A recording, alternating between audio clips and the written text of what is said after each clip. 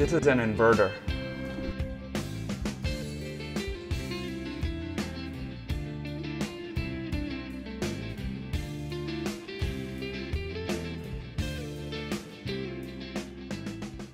This is an inverter wiring harness. Thank you for watching. Good night. Always wanted to do that.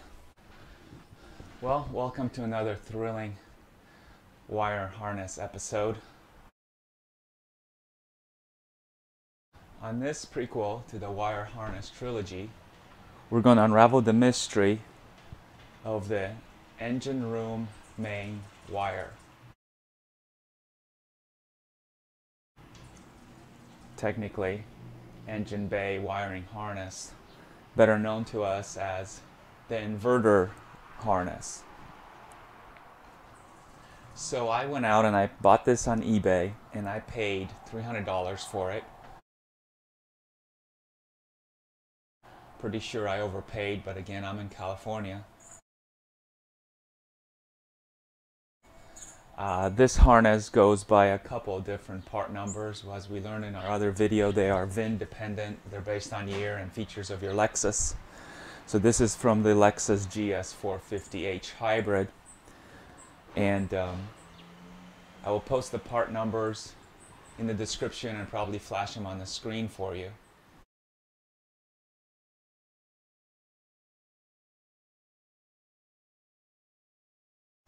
Now, I already thinned out this wire harness. I didn't make a video that. I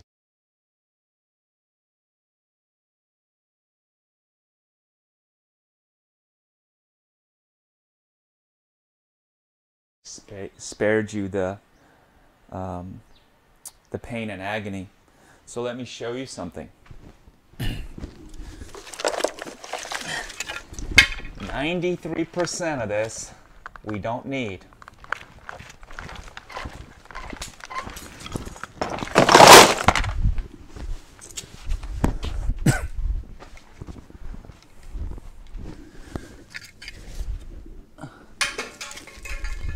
Which leaves us with the other 10% that we do need. And this harness has the coveted inverter plug on it, okay? I'll show you some pictures of it of close-up.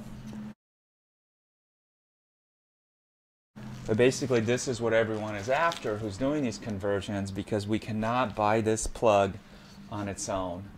There's a tiny part number on it, but it doesn't really come up with anything on Google searches. So I'm going to try to keep this video short because it's going to be boring as, boring as hell. But basically there are three key parts to this harness. There's the inverter plug. There's these eight cables wound up over here just to make them neat. The synchronous serial communication. Okay, this is how the inverter talks to our open inverter uh, VCU. And then the third main thing on here are the two resolver plugs that will connect directly into the transmission harness that we went over in the last video.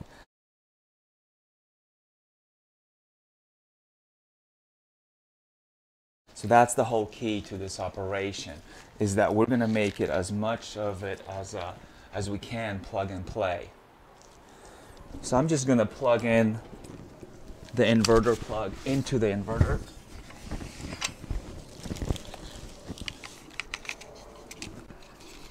Just to show you how that goes. and then we have one resolver plug. Now, I already uh, crimped and added the plug for the VCU on here. I will cover that maybe in another video, maybe just in my uh, uh, write-up, my, my build thread. But um, basically the four cables which have two wires or a pair of wires in each for a total of eight wires, four cables This is sort of the communication superhighway. This is how we send signals to the inverter to tell the motors what to do.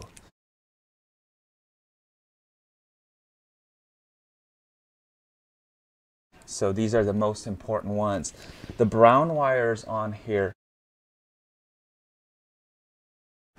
don't go anywhere. They sort of loop back on themselves and they go to the inverter plug and they act as grounds for the shielding that's in this uh, in these cables. This is why I wanted to buy this harness because I don't I didn't think I can pull off making it from scratch.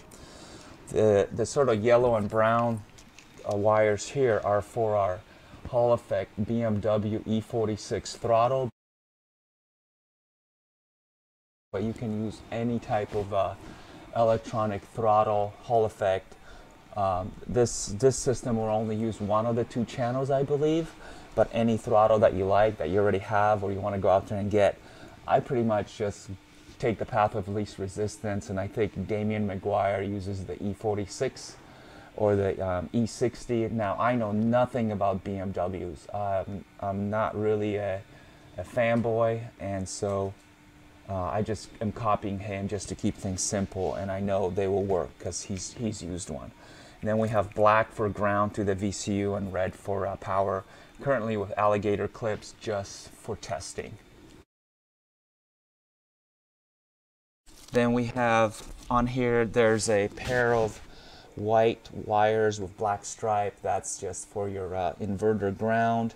And another thing why it's nice to get the um, the actual factory harness is because the power cables for the inverter, these two blue ones, actually run through one of the um, resolver connectors. I didn't know that until I bought it. So MG2 resolver, instead of having eight pins, actually has 10, and that's how the um, uh, inverter gets its power is through this plug. It makes it nice and easy there is a, another cable on here that looks similar to the uh, synchronous serial and that is uh, but a single wire inside and that is for our park signal that's going to go to the neutral safety switch of the transmission.